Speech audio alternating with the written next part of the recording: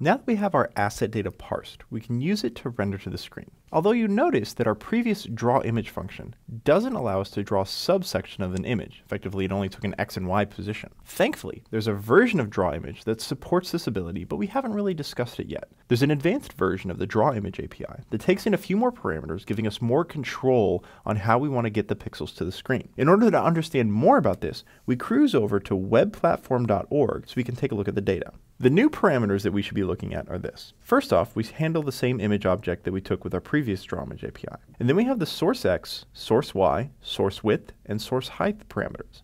These represent the XY position of our chart in our atlas, as well as the width and the height of that chart in the atlas. The destination XY width and height represent the position and size that this small subsection of our atlas is going to be drawn to in the output canvas. So for example, we can set source X and source Y to 2, 2, width and height to 32, 32, and draw to a position on canvas of 128, 128 by 64 by 64. Draw image is smart enough to know that if the source width and height don't match the destination width and height, to properly scale the image to match the desired output size. For our purposes in grits, we really don't do any scaling, so for 99.9% of the time, source width height and destination width height are the same size.